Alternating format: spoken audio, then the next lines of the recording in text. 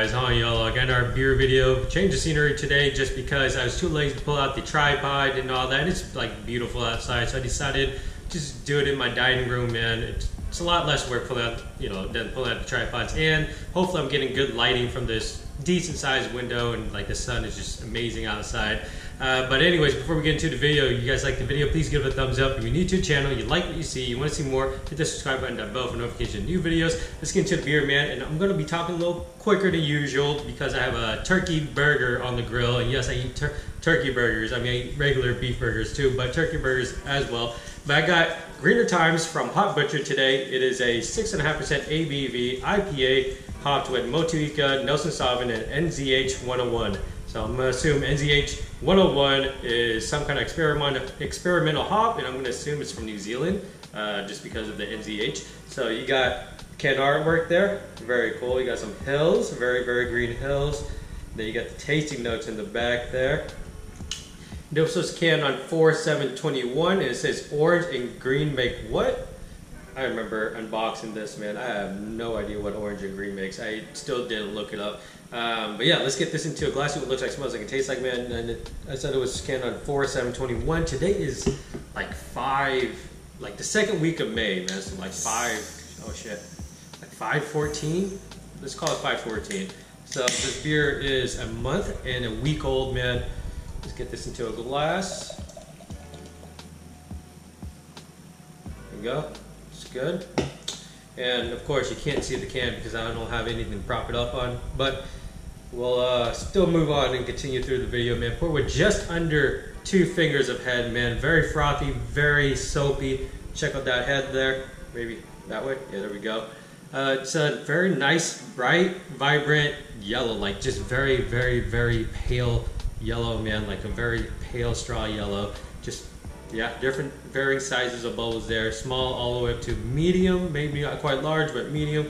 It just looks very, very nice. Color of the beer, putting away from the window, it is this nice New England style IPA. Very hazy, bright, vibrant orange. Just, I wouldn't say there's a hint of yellow or anything. It's just a nice, bright, vibrant orange, man. Kind of matches, you know, the sun outside. Very nice. Let's get the aroma. Oh man, the aroma is just amazing too. It's like just nice, very, like it's citrusy, but it's like a different citrus. It's very bright. It's very fresh. It's not like like sharp citrus. I say sharp all the time, and when I say sharp, I mean like very zesty, very zingy type of citrus. There's just like I wouldn't say dominant, but you definitely get it. This very like dirt smell. Like it just smells like dirt. Um, I'm not sure if that's like the new NZH 101 hop or what, but it's kind of I guess reminds me of uh, Nelson Sauvin because you know it imparts white grape flavors. And then when I think about grapes and grapevines, kind of just think about you know where they're located, where they're grown, just very uh, in like a dirt field basically, right? So I mean that's fitting, I suppose. Okay, there we go. I'm getting some herbals like herbaceous spiciness. Yeah, I'm gonna go with a like green bell peppers, just very herbaceous spice, not like you know hot spicy, but more just like spices like pepper, salt, things like that. Very faint apricot or peaches even nectarines, just very very faint, man. I'm not sure if nectarines have a smell actually, but if it does, it's probably very faint because I don't remember smelling a nectarine. Nectarines are great. Too bad I'm allergic to them now. But yeah, just all those, it just smells very nice, man. It smells pleasant. It's different. Let's get to the beer. I didn't get any like grape vibes from this, but let's hope we can get it on the flavor. Cheers.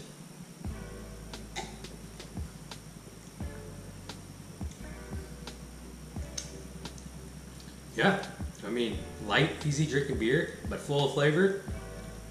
I didn't get any grapes on that sip, but I did get citrus, and citrus, like I said, man, it kind of basically followed the nose. It's not very zingy, it's not very zesty. Citrus is there, but it's not like uh, very acidic, harsh citrus, I suppose. Very little bubblegum vibe happening, man. Very little. Oh yeah. I'm getting some grapes now. Towards the end on that sip, it's like that bubblegum flavor kind of just melts or mellows out into that grape flavor, and I absolutely love Nelson Sauvin, man. So I'm really glad that I'm able to pick up some of it in here. Yeah, that faint apricot, or maybe I'm gonna go with apricot. Uh, the apricot flavor works very, very well with everything that's in here. The citrus, not overwhelming. Apricot, you know, subtle but definitely there. And then the bubblegum white grape flavor ties everything very, very well together, man. It's a slightly dry beer, but not too, not like incredibly dry or anything like that.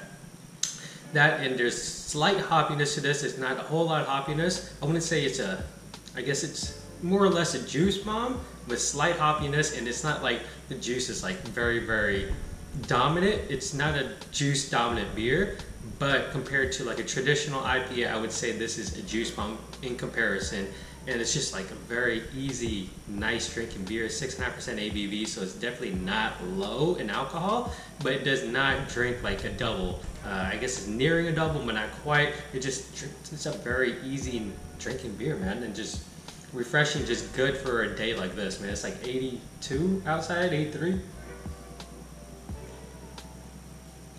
Yeah, just a little bit of that herbaceous, herbaceous grassiness going on, but I don't know if that's coming from the new hop or not.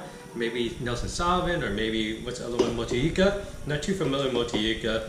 Nelson Sauvin, I just know it, you know, gives off that grape flavor that I like. Um, but yeah, man, uh, must give off some kind of citrus, or maybe that's the NZH 101. But yeah, very, very delicious beer, very crushable, very refreshing. Very glad that I was able to pick up uh, the white grapes from this. Just a very solid, solid drinking beer, man. So that said, man, this was Hop Butcher's Greener Time 6.5% ABV IPA brewed with Motueka, Nelson Sauvin, and NZH 101, man. If you guys like the video, please give it a thumbs up. Comments, questions, leave below. And as always, dream your dreams and believe all things are possible. Cheers.